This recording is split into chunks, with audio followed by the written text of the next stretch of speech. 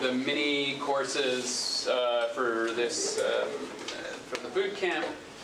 Um, and so she'll give the first part today and the last two parts tomorrow. And we'll also in the morning have a talk from Deirdre Mulligan. If she makes it, I actually got an email from her saying there's some complications on her. She's like on the other side of the country right now. But anyway, hopefully it'll be good.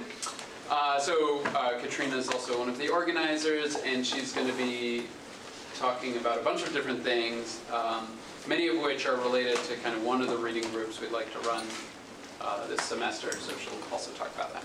Great, yeah. So uh, this first portion of the talk for today is reasonably separate from the two portions tomorrow. Uh, today I'll be talking about this data co-ops idea, um, which is work with Kobe. And then tomorrow I'll be doing a sort of more general talk on various themes from economics and game theory uh, that relate to the study of privacy. And there, there will be plenty of connections, and in particular, I, I'll sort of extract out all of the uh, game theory and economics questions that should have been in today's talk and save them for tomorrow uh, for you. There wouldn't have been time anyway. Okay, so the, this is really a collection of preliminary thoughts, as Adam alluded to. Um, Kobe and I are planning on running a working group around this theme over the course of the semester. Um, so hopefully this is the beginning of a conversation with many of you and the source of a lot of questions and ideas. So the sort of starting point for this discussion is this world that we live in, um, one in which uh, personal data are so incredibly central to advertising and to sales, strategic decision making, that the companies that are managing to access our data, to collect it, store it, make sense of it, have turned it into the world's most valuable resource. So a 2017 Economist article, and there have been other quotes that I've seen that have alluded to this, has argued that data has replaced oil as the world's most valuable resource. This is the world we live in, and given that, it's not so surprising that this amazing, rich landscape has arisen around monetizing data. And there's been a lot of creative innovation in this space. People are doing really amazing things and solving really, really interesting problems using personal data. There's a lot of fun stuff going on there. One thing that we've noticed in recent years is that there's also a lot of concern in this space. And there have been a number of efforts, and I'll show you a few of them, trying to respond to various concerns around uses of personal data. Uh, so for some of them are for profits, like the startup, uh, that I try to help you get back some control of your personal data, perhaps in exchange for something.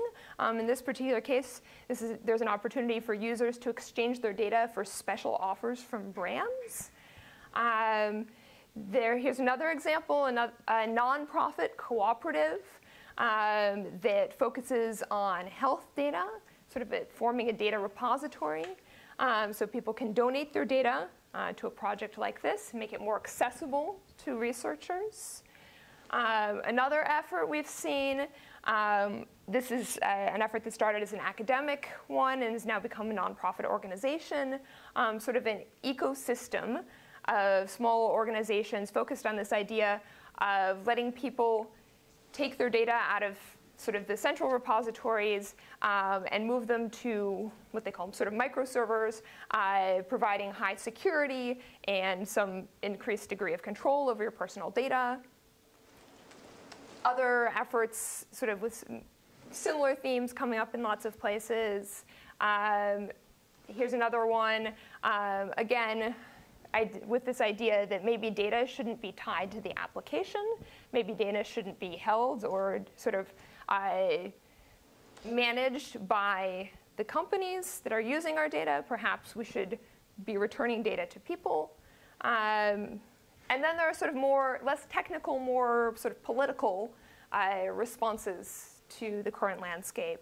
Uh, so the Data Union is a nonprofit uh, with, a, with a vision of sort of giving people some sort of collective voice to negotiate with the big names who are using our data. So lots of efforts in this space responding to lots of different concerns. Um, so I'd like to try to identify some of the concerns that these projects have been responding to. And what is is this sort of overarching feeling that the internet that we have is not the internet that we were promised. I, that somehow the internet started out as this, this venue for giving control to the people. Um, and there was this sense of excitement and empowerment and individual uh, control, and that somehow now we we live in this world with a handful of dominant platforms. And many people view this as problematic for a number of reasons. And one of them is that a handful of platforms is a few potential massive points of failure. And that's failure in lots of different senses. Uh, failure in sort of the obvious senses of security, vulnerabilities, and hacks, but also failure in terms of incentives. Uh, if, I mean, if one of these companies has incentives to do something that we're not so happy with as a society, that can have a huge impact on society. Uh, so there, there are a lot of concerns about the internet that we, that we have today. And some of the, the startups that I mentioned and efforts in this space focus on missed opportunities for innovation in today's ecosystem. So what do I mean by this? Well, you know, I said there's so much data out there, so much being collected, it's so exciting, there's so much you can do with it. But actually, it's not so clear if you are a researcher or a small startup that you can really get your hands on the data that you need in this current ecosystem. So say you're a small startup and you're interested in linking two different types of data that don't generally show up in the same database. Like you want to understand purchasing habits and mental health information and link those together because you have a really great idea that's going to help people. How do you do it? Say you want to get at some really, really specific subpopulation. You have a great product that's going to help people who are in a very particular situation. You have a creative idea. How do you reach those people in today's ecosystem you're, if you're not one of the big players in the space? Say you want to deliver a highly tailored experience to your users that might depend on a lot of personal information, but you don't want to get in the business of actually having and gathering all of that personal information. How do you go about that in today's ecosystem? So actually, there are a lot of challenges, particularly if you're not one of the big players, but even if you're one of the big players, in getting access to the data that you might want. And there's also this question that maybe the, the, the access isn't just the only problem. Maybe the data that you want isn't being collected in the first place. Because there are a lot of barriers to the collection of high quality production and collection and production of high quality data. So we saw a lot of these themes already in Frauke's talk, but you know, sometimes there's no existing market for the data, so why would anybody be, be gathering it? We live in a world where quality data isn't really compensated, so why would high quality data be, be gathered? And of course, there's so many risks to holding data that many companies and many researchers are very, very nervous about doing it. You open yourself up to breaches, to subpoenas, to GDPR violations. And so actually, this rich and amazing landscape is not necessarily a landscape that gets the best data into the right hands. And then, of course, we saw a lot of those efforts that I mentioned earlier on responding to individuals' concerns about the current data landscape. Issues like, I don't actually really know who gets access to my data and for what purpose. I don't know what I'm trading for what. I mean, I have the sense that I go online and I'm trading my data for something, but I don't really have a very good sense of what that trade-off is. And the potential consequences of that trade-off are far from transparent to me as a user. And sometimes you just start to get the sense that everybody's making money off of your data except for you.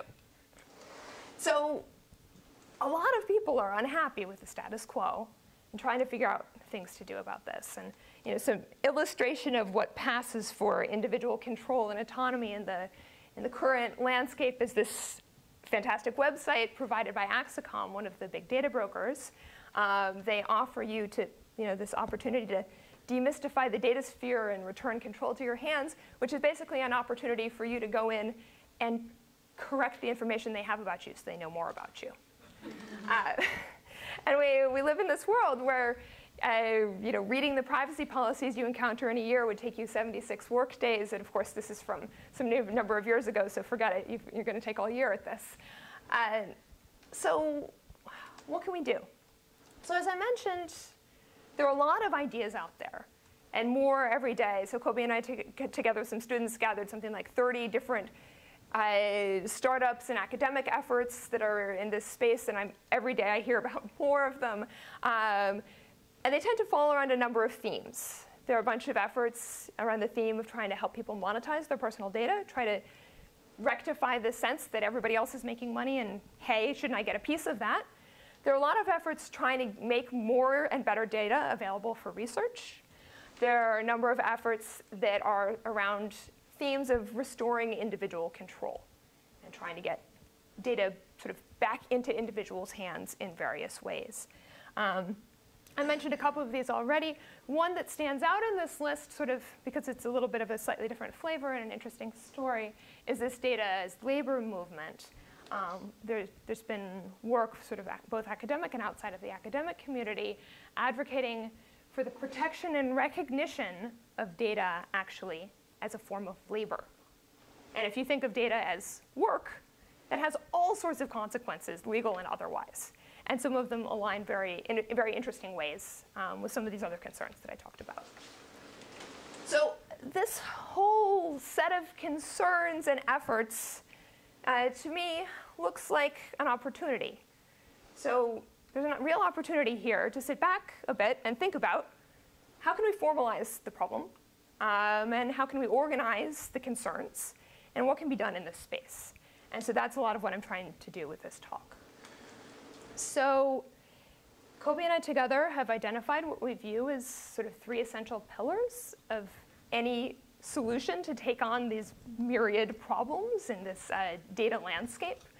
Um, and so one of the things I'll do is talk about those a bit more today. But the three for us are creation of value.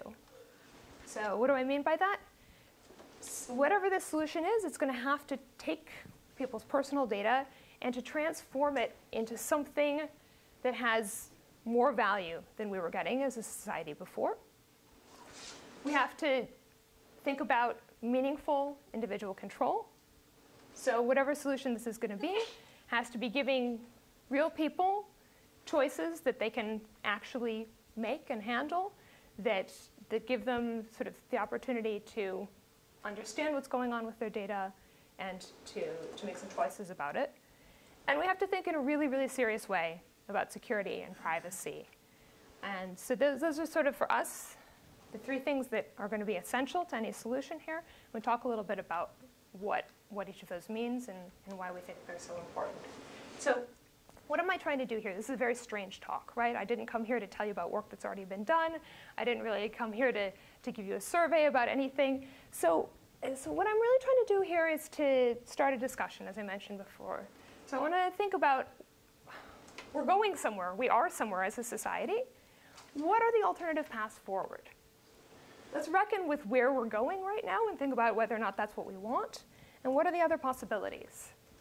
And then what we'd really like to do is to build a research community broadly around what we're going to call this data co-op idea, which we'll get to in a minute, um, and understand the research challenges in building a solution in this space. Um, and what we'd like to do is really come up with any of you who are interested with lots of ideas and tools that could potentially serve lots of different initiatives that share some of the goals that I've described so far. Um, so as part of this, we really need to understand what, what should the principles and ground rules of work in this space be? What are the goals for work in this space?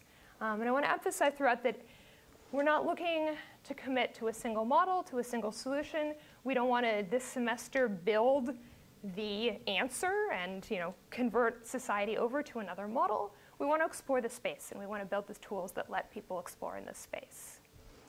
So I want to talk uh, a bit more about what Kobe and I have identified as sort of the, the key uh, pillars of a solution and what that might look like and try to make this a little bit more concrete for us all to have something to talk about.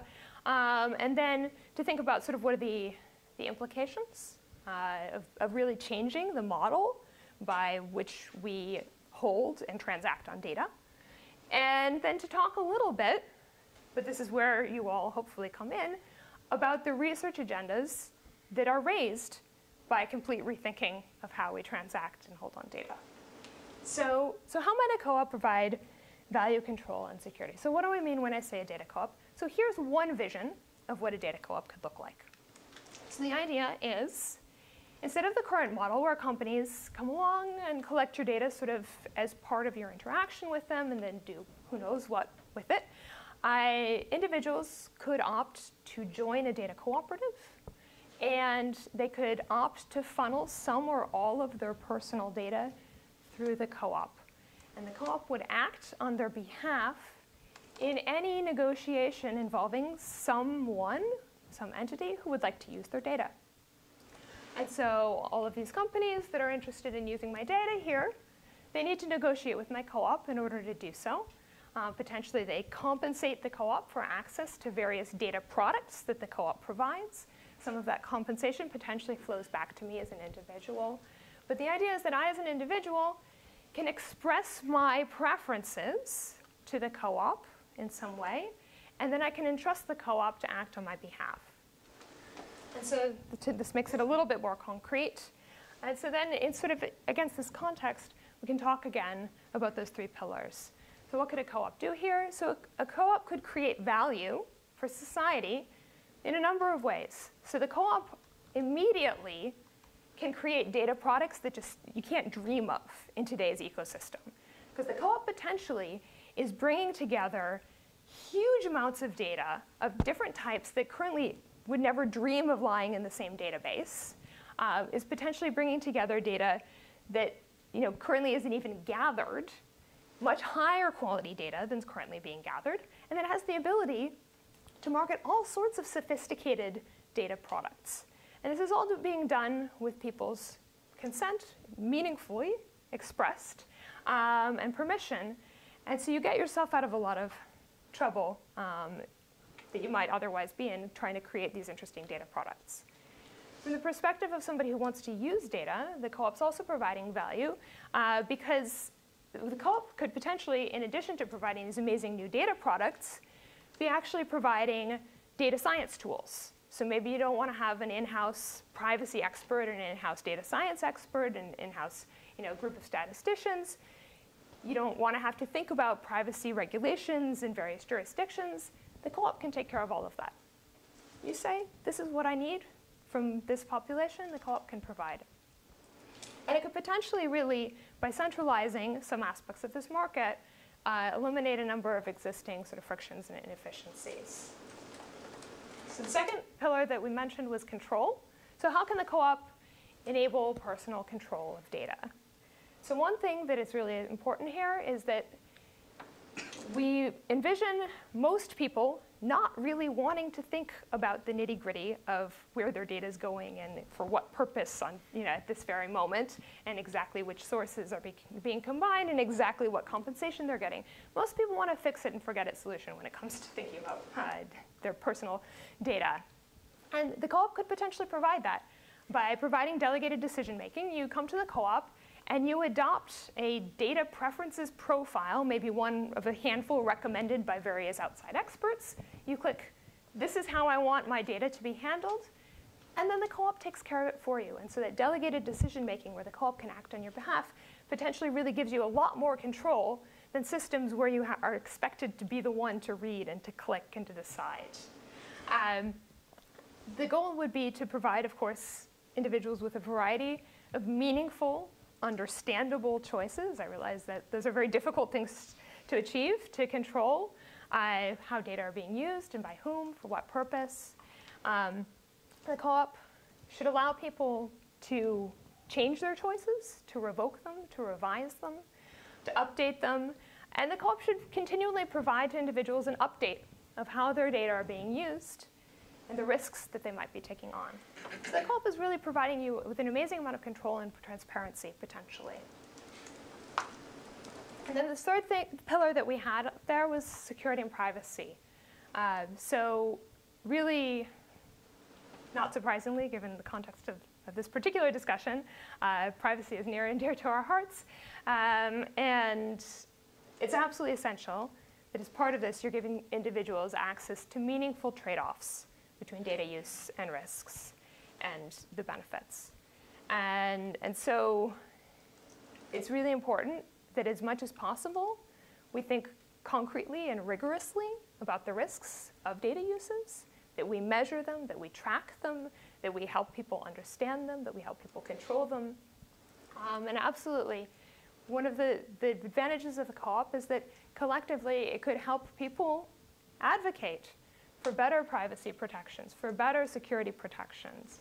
And it, the co-op could actually be an active uh, protector of members in the sense of vigilantly auditing for unauthorized uses of data, advocating for members' rights, potentially even in political arenas, um, and pursuing legal action. So the co-op can be a combination of solutions, not just a legal solution, not just a technical solution, but a hybrid of sort of all the tools that we have at our disposal to help protect people and advocate for their rights. So I view these as sort of the, the things that are really essential uh, to helping us build a tool that can address the concerns in this data space. Um, I want to try to make it even a little bit more concrete by going through a couple of questions that might be in the back of your mind right now. So I'm talking about this co-op thing. What, what are the types of data that could potentially be held by a co-op? And the answer is kind of a non-answer in the sense that it could be anything and everything that's currently being gathered about you and many things that you haven't even dreamed that could be gathered about you. The idea, though, would be that you as an individual would, con contain, would continually have control and choice in this space. Co-ops could potentially choose to focus some of them on particular data domains. You might see medical data co-ops emerge as a specific uh, area. Or maybe you see co-ops really making benefit, getting benefit from the idea of really bringing together very disparate types of data. Um, but you should think of this as potentially a very, very broad collection of types of data. Another natural question is, okay, so this model is really foreign and very different from how we currently work with data. How does this fit with the existing model? What would happen to the data that companies already have about me? And the immediate answer is, again, sort of a, a non-answer in the sense that, well, nothing would immediately happen to the data that's already held by you. That's, that's out there. I can't change that. Um, and companies that are, could continue to operate in their current model alongside an emerging co-op model. Now, it is possible that if the co-op model were to gain traction, that might put pressure on organizations that have sort of the traditional models of, of data collection and usage to change some of their practices. But the, this is something that could potentially really coexist um, with the existing model. And so similarly, what would happen to your current free services where you're exchanging data for something? The answer is, well, that could continue to exist alongside services that would evolve to negotiate directly with a co-op and be a little bit more transparent about the trade-offs that they're offering. And I imagine that if co-ops were successful, that the trade-offs that companies would offer would change with time. Um, and then I think the other big thing that I imagine might be in your mind at this point is who's buying what from the co-op? Um, what is it exactly that the co-op is going to sell? Is this co-op going to sell my browsing history to a, to a company? Are they going to sell my medical records to a company? And the answer is, well, I guess they could, but probably not. Because that's probably not what these companies really need. What they really need, mostly, are things like aggregate statistics, trends, correlations, ability to target, but they don't actually necessarily really need access to your data in order to target. Um, the answer is, though, it's open for discussion. And this is one of the interesting questions is what are the kinds of things that a co-op might market and how should you price things like that? Okay. So hopefully this gives you some sense of, of what we're, we're proposing in this, to sort of explore in this place. Why Yeah. would I want to to give my data? Why would you want to give your data to a co-op? So as it, from the individual's perspective, um, hopefully the co-op would offer you a number of protections that you couldn't achieve as an individual going al- it alone. I don't really have the ability to go around to all the companies who I currently interact with and say, hey, I'm going to stop interacting with you unless you give me better privacy protections. They're going to say, good luck to you. If you work with a group of people uh, to negotiate for better security, for better privacy, for more transparency, you have a hope of negotiating. You also, when you join a group of people, you increase the value of your data. And formally, we can talk about the value of data is more than the sum of its parts. And so when you come together with other people, you actually can get a financial benefit um, in addition to this negotiating power. Um, so the hope with it would be that you would be getting lots of benefits in exchange for being a member of the co-op. There's a concern, of course, how do you get something like this started? Because initially, there probably wouldn't be such great benefits. Speaking of getting this started, would you mind going back to the slide with the different companies that use, um, like Miko and Me? Sure, sure, yeah. Um, so I, I've been following the, the birth of these a little bit. Great. and- But I have never looked in detail on sort of their model, but I was wondering in your, the full survey of them and when, when you and Kobe developed the, the data co what, what does the data co-op do that these models don't, right? I mean, so, so where's the gap? Because I mean, I feel like a lot of different angles are. Are covered by many things, yeah, and yeah, so yeah. How how is what, you, you, you, vision different there? I didn't quite get that. So one thing is that I have yet to see another effort that gets privacy right. Um, that's that's sort of a universal. Um, many of these efforts are missing the sort of collective aspect where you create value by bringing together many people's data and the collective aspect where you create an organization that can negotiate.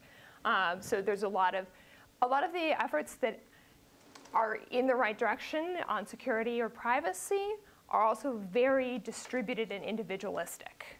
And they're missing this collective action aspect of things. Um, I- mean, some of these are for profit efforts with very dubious um, benefits to, to the individuals and very dubious business models in some cases. Um, so it's, I have yet to see all of these in place, um, but it may be that I've missed something, and I would actually love to see somebody saying, look, here are three efforts that actually have more commonalities than you've realized with data co-ops, because that would allow us to think about tools that could serve all of these efforts at once. Um, and actually, I'll talk about this more later, but I, I think it would be great to see diversity in the space of ideas and in implementations. And so if you've done some survey in this space, I'd love to hear about you know, what you're aware of and the efforts that we should know about. Yeah, other questions at this point? Yeah. Um, are you familiar with Dan Weyl's book? I mean, this is. Yes, yes. So this is, Yeah, so I was alluding to, to him when I, when I talked about data as labor. Um, and yeah, I've talked with him, and Rachel's talked closely with him about related ideas in the space. Um, and what we're advocating for is very, very well aligned in many regards. We have slightly different uh, priorities and perspectives and motivations, um, but it was very rewarding to, to realize that coming with those different perspectives and motivations, we've come to very similar per- perspectives on the problem in many ways. right, and, and so the devil is going to be in the details. So even what. Helen, can you just say, what was the book that you? Yeah, so, so I, yeah, so there, there's this uh, book of Glen Weyl and Eric Posner called Radical Markets. Uh, one of the chapters in this book is on data as labor specifically. Um, each of the chapters sort of uh, produ- you know, proposes a radical idea for sort of changing how we do something economic in the world, and, and this is one of the chapters there. So, so I mean, the, and he has his very, you know, he has this economic approach to it where he, where I think correctly is saying that some of the attempts, I mean, even we made a, nu- a number of years ago, uh, Dan Boneh and Arvind Nara, a bunch of us had created this thing called Adnostic, where we said, you know, you shouldn't track us, we'll track ourselves, and then we'll do some processing, blah, blah, blah.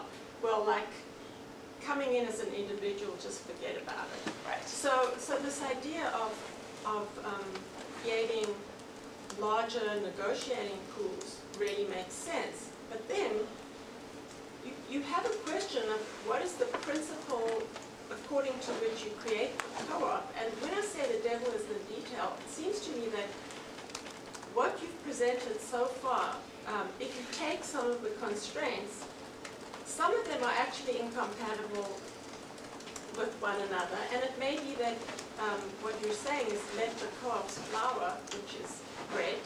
Maybe they're like unions. If, if they're like unions and you become um, a member, then, and I think this is a little bit with Weyl's ideas that, you know, the co-op says, look at what we're doing, and then if you join us, you're subscribed under those.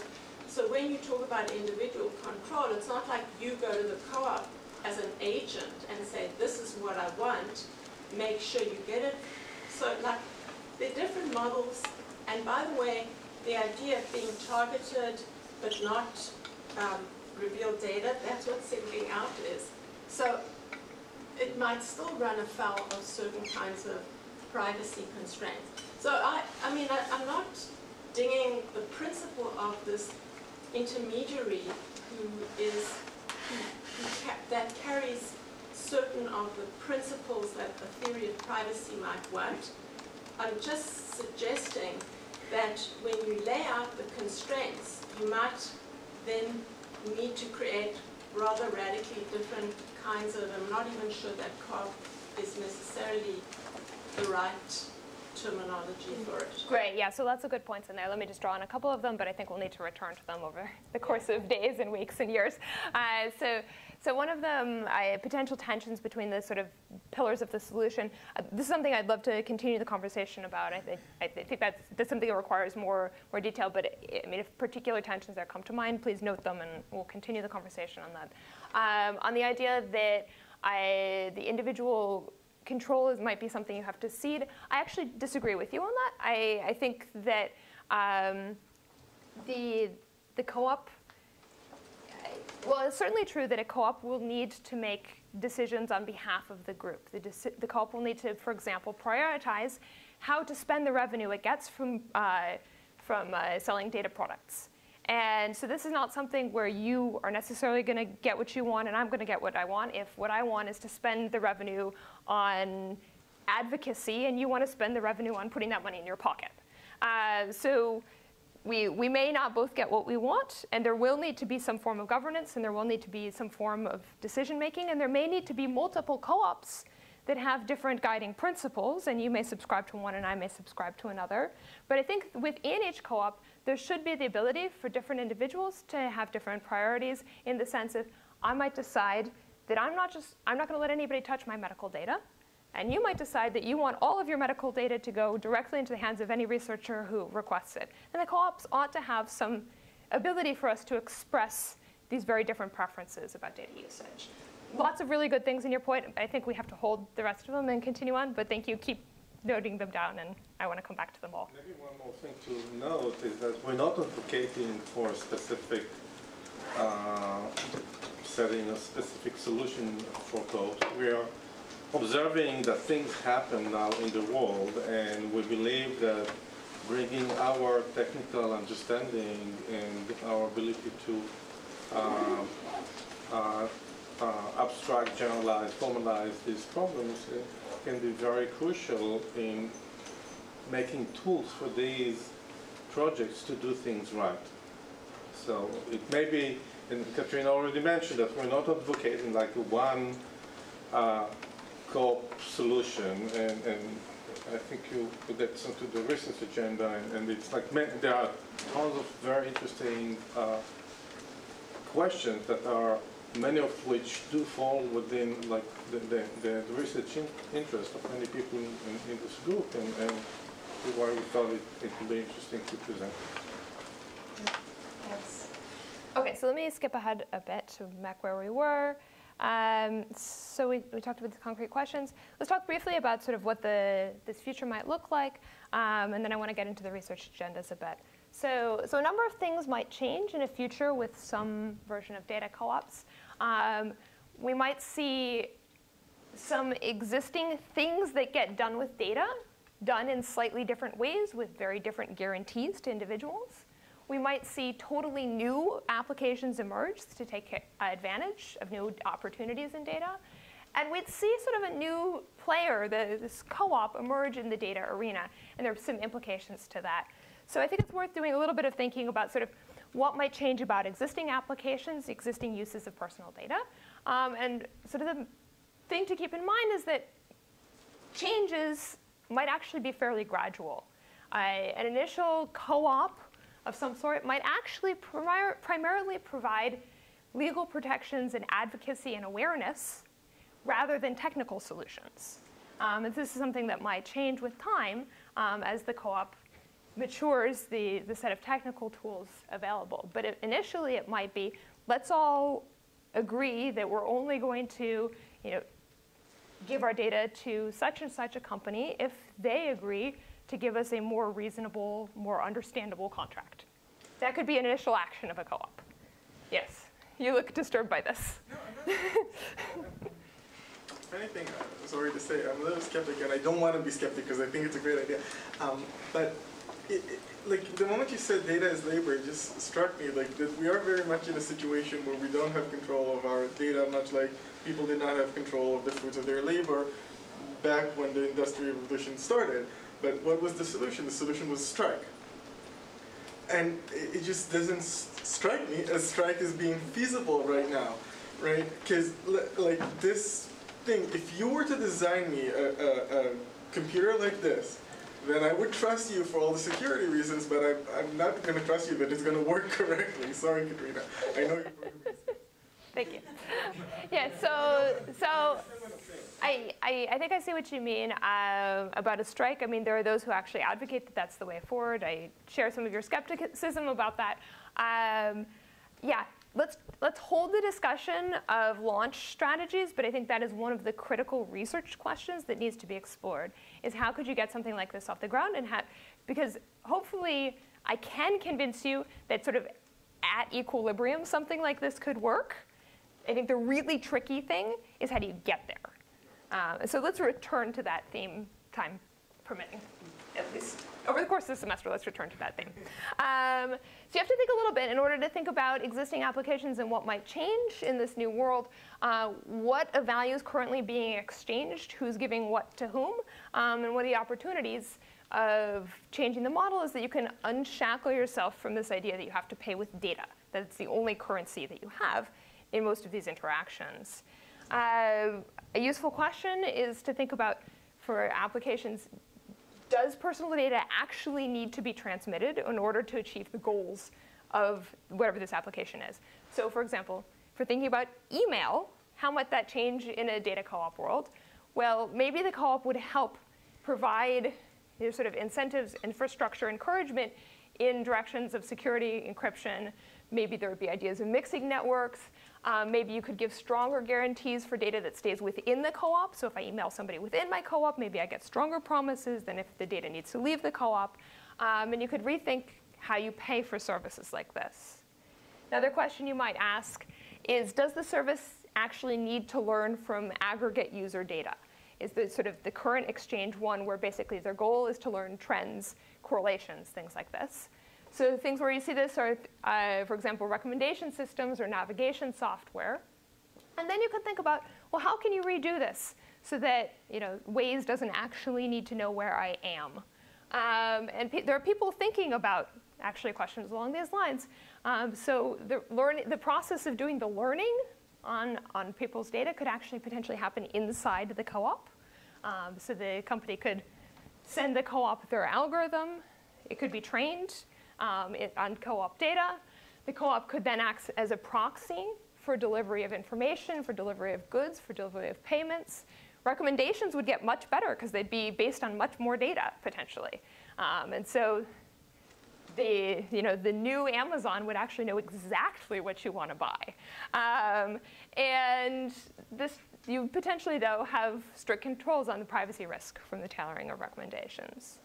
Another question that's useful is, I, is, it some, is this company doing something that really probably can't immediately move inside the co-op, for example, because of extraordinary computational requirements? A good example here is web search. That's probably not going to all happen inside the co-op. Um, so how can we control the information that needs to leave the co-op in order to achieve the goals? Um, so you might think about stripping queries of un unnecessary identifying information, bundling to them together, somehow acting as a proxy for payment. So there's a lot of thinking to be done about what are the limits of what we can do depending on what needs to happen where and what are the services being provided. Co-ops, though, as I mentioned before, could potentially enable totally new applications that you just can't, you can't do right now. Uh, you could potentially be you know, nano-targeting ads without invading people's privacy, um, because as we talked about before, companies can sort of achieve all of their data needs in one place. I, one interesting thing that, that co-ops help a lot with potentially is secondary uses. So what do I mean by this? Um, in the current data ecosystem, it's really, really basically impossible to go back to somebody a couple years later and say, oh, I want to know one more thing about you. You know, you were in my survey three years ago, but I also need to know this. Um, and so in order to make up for this difficulty of getting back to people, when you collect data, the thing to do is just collect anything you could ever dream of needing in the future and get people to agree to arbitrary uses of it. Because then, when you realize, three years down the line, that I actually need this for this other purpose, you have it. Obviously, this is problematic from the per perspective of individual control and transparency. But data co-ops can potentially solve this problem because you realize you need a little bit more data from that specific person, you go back to the co-op. You need a little bit more information about this particular po population, you go back to the co-op. It's very obvious where you go, what the source is, what the procedure is, and people already have their agreements in place, so it's a matter of a click. You don't have to go and track them down and ask them questions and have them sign new forms. Data linkage, we sometimes think of it as an evil in the privacy world, but it's obviously you know, a huge opportunity, and we saw this in, in Frauke's talk. Amazing things you can potentially do if you can bring together disparate sources, so there are huge opportunities here. And as I mentioned before, if you have sort of a, a niche idea with a small target audience, much more feasible um, in, this, in this imaginary world. And the co-op, as I mentioned, is also taking on additional roles that aren't currently served in the data ecosystem. A consumer protection role, potentially helping serve some of the, the purposes that, that Danny alluded to earlier, um, protecting political discourse, protecting our democracy, um, letting consumers have an, a way to vote with their feet. Currently, in, there's this sort of sense of data lock-in with a lot of applications. Um, you don't really have a choice to pick up your data and go somewhere else. And that might be more feasible in a co-op model. And that might provide more competition, better choices for people. Um, better protections, higher standards for the algorithms that you get used on our data, and the ability to sort of have our voice be heard. Uh, what are our priorities for what should be protected, what should be guaranteed, um, what should be prioritized in terms of who should have access to data and what should be done with data. Um, sorry, I, I just, I want to hear what the purpose of the co-op idea is in the first place. You know, some of the, I, love the goals that you're laying out, innovation, um, letting consumers vote for their feet, with their feet, public interest, democracy, all of those things. But I can't argue with democracy. um, but I still don't, I, we, you know, all of us have been saying in the current model even, like, um, let people compete on the basis of privacy, uh, what are all these people doing because now, you know, the democracy snafus and all of that. So what is it about the co-op idea and what I'm worried about is that underneath the hood, and maybe you keep saying about individual control, but if you think that there's some societal benefit, which obviously you can see where, this is coming from, I'm not sure how you're going to squeeze out that more out of the CARP idea without the kind of heavy-handed regulation that many of us are waiting to happen in the current model. So I want to hear a little bit about what value the co-op is bringing that will assure all of these things, that's going to be just as hard to secure, plus give us the societal value that I think privacy needs to give. It's not just about individual control. Yeah. Right. I, it's a research agenda. Um, one, piece, one piece of a possible answer is that the, the co-op's creating a new political entity, um, and that's potentially a powerful entity that I, I don't know that there's a way forward that doesn't involve reg- regulatory intervention at some point, um, but maybe can enact some of the things that you might be hoping to do with regulatory intervention, may be able to do that in, a, in another way. But it, it's a research question, absolutely. Yeah. But I But think s- some of the optimism is in the change, potential change in balance. Like as Katrina mentioned, if you are trying to negotiate with big companies, you're about to fail. Maybe bringing in, uh, um, you know, a- strong in- in negotiation power can uh, change that, that balance. I think a lot of the currently, uh, like the things that the people are trying to do today are trying to get into this thing of like changing that, that balance. I think, I think that, sorry, that I think that this, this is like a critical question because the way we have things today, if I'm in legal trouble and I'm rich, I can hire myself a really expensive and excellent lawyer. But if I'm poor, then I'm going to wind up with, you know, state-sponsored defense, which is, which is not very good. So, um, again, it's not like to ding it, it's to say that certain, um, there needs, for this co-op idea to be anything different and not just be, well, the rich people have powerful co-ops that can get highest prices for the data of those rich people who've joined that expensive, like, sports club, or, you know, mm-hmm. but you then need to have some principles of like, what is this whole model trying to achieve in society that is different from what we have today and will achieve it, but without some of the, like when we look at other agents in society, what we get is the rich get the good ones, etc. And, and we have, I think, we're in a kind of failure mode if that's what we're trying to do with this particular idea. Failure in modes is the next slide. Yes, and absolutely, there's a there's a real concern of, of, of a future society with data haves and data have-nots, and I mean, there's a whole space of really big questions to talk about there. Yeah, so I'd love I'd love to continue to talk about those. Yeah. maybe you'll get this in when it comes, when you get to failure modes. There's also this issue that you're creating a single, major single point of, single point of failure or small. All right. Yes. I'll let you do That is the next slide. Um, I don't have a solution to this problem, but it's a huge problem. And basically, the, the theme for the, the you know all continuing discussion is you should think as much as you possibly can about all the ways that this can go wrong, and all of us should dedicate a huge amount of the effort in this space to think about how this can go wrong and how we can protect against those those risks. Because I think this is a this is not something to pursue lightly. Um, and so here are a sample of a few of the things that could possibly go wrong, but it's just a few of them, and they're not fully explored. Uh, fat ta- target for data theft, fat target for disruption, harming individuals, risk of subpoena. I, the co-op could, you know, potentially act not according to the interests of its members or not according to the agreements with its members. I, there are interesting risks if the co-op isn't trusted by the data purchasers because the data, the data purchasers are going to need to entrust the co-op in most scenarios with fairly sensitive data about what they're trying to achieve. Um, and they need to trust the data that they get from the co-op. The co-op could be taken over, could become evil. Um, all sorts of things could go wrong in this space.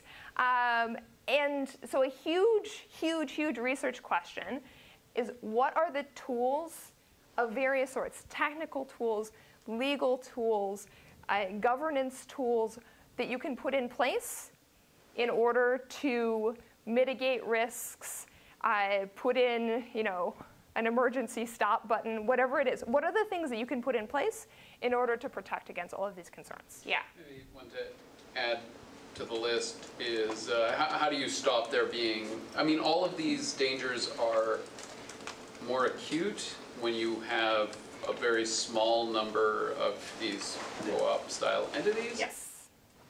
However, that seems to be what's required to materialize the benefits of actual, you know, if you want people with clout, and if you're arguing that the whole idea is to give people a collective. Yeah. Yeah. So there's a there's a very interesting sort of tension about um, how to structure the marketplace so that you have the right amount of competition and the right sort of benefits. Um, and yeah, and that's one of the questions that I think of that flavor. Yeah. Um, obviously, there are a lot of questions here, um, and so I give a sample of a few of the spaces of questions. We have started to collect these questions, as you'll see, um, but I want to hear more of them um, from all of you. So I, we have some sort of ground rules that we put in place um, for doing and work and thinking in this area. Basically, sort of openness, transparency kinds of themes. Um, really important, but I have only a couple of minutes, so I'm going to jump ahead. Emphasis on uh, diversity of ideas, diversity of models, diversity of tools, and potentially diversity of co-ops. Um, thinking about sort of the benefits there. So there are lots of research areas that are relevant in this space. I'm going to save all of the markets and incentives questions for tomorrow, and I'll try to briefly talk about some of the other ones. Um, so questions like how much of the solution needs to be legal and how much of it needs to be technical, and how does that depend on the particular uh, environment in which you choose to, to launch this. You know, if you launch this in the US versus in Israel versus in Europe, um, what needs to be changed? What are the mechanisms for change? Can you identify uh, ways in which uh, current practices with respect to data in, infringe individual rights? Can you use that as a tool? Um, sort of collecting a, an understanding of the relevant enshrinements of rights and the, the relevant work that's been done in the legal space, I think is already a major task in this space. Um, and this is really just a, a, brief sampling. I'll do it quickly. Um, I, in the space of regulation and governance, I mean, as some of this conversation has already alluded to, the, the governance structure of the co-op is going to be really important in helping it achieve its goals. Uh, so you have to think carefully about how is the co-op going to make it its choices collectively? Um, what sort of legal entity should it, should it be? Um, there's an interesting uh, thing going on here where the, and the co-op is potentially a big enough entity that it's straddling in this odd space where it's not really a self-regulating thing, it's potentially doing something that resembles things one might do with government regulation, but potentially not using government regulation. Um, and as I mentioned before, you need to put in sort of technical and legal safeguards to protect the data users and the analysts from the co-op, as well as protecting the, the members of the co-op. So how do you do all of this? What are the right tools in this space? How do you protect it from with some, somebody bad uh, taking gain of the, of the data? Yes. Of the organization? Yes, absolutely. Yeah, that, that's, a, that's one of the huge questions. Um, and then what are the launch strategies? Um, and I think this is this is a, a really fun one to think about. Um, you know, do you focus on a particular type of data in terms of, you know, do you focus on medical data first? Do you focus on data that's currently not being collected and start collecting a new, you know, rich data set that's not available to anybody? Uh, do you think that this should launch in a particular country with a particular demographic, with a particular, you know, where, how, how many people do you need in order in- for this thing to actually be providing value on both sides? Um, how do you get to that point?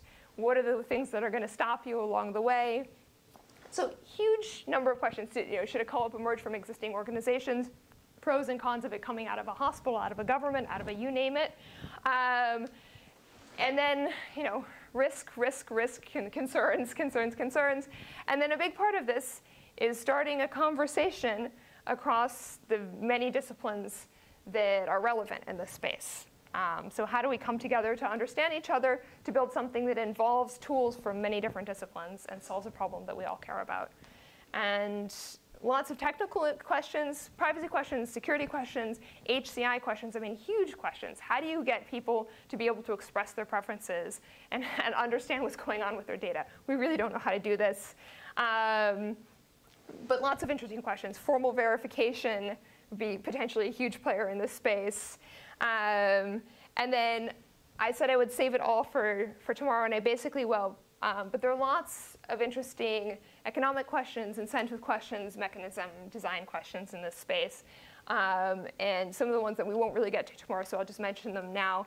Uh, how do you set and control the incentives of the organization as a whole? How should, should you think about managing privacy budgets for individuals and across time? How should you think about mission creep and how to control against it? How can we potentially use the, the co-op to detect and protect against data being used to manipulate people? Um, and I said, lots more coming in this space tomorrow. So I just wanted to say again, um, this is about bringing people together to figure out what the questions should be. Um, this is not a proposal to do something specific or build something specific. We don't have answers. We have some questions. We want more questions, and then maybe some answers. Uh, so join us. We will be chatting probably briefly after the, the group meeting tomorrow, just to sort of have an initial organizational meeting for a few minutes. But if you can't make that and you're interested in co-ops, you can get in touch with me or Kobe. Um, we'll be having a weekly meeting where we plan to do a combination of a reading group, bringing papers from all of these related areas together, um, and not just papers, but you know, sort of other readings. And, and then we plan to think of this as sort of a working group. We'd like, hopefully, for people to start peeling off pieces of this space that are interesting to them and working out, you know, what are the questions that should be asked, what are the tensions, um, what are the related literatures, um, potentially producing over the course of the semester some research agendas, white papers, um, starting to, to identify what, what we can do in this space. And I think an important thing to keep in mind is even if you, I don't think we've got it, you know, just right with what I've said here, there should be a question for you somewhere in this space, given that you're in this room. Um, and so I'd love to hear more about the, the connections, concerns, critiques, ideas that you have. And that's it for now.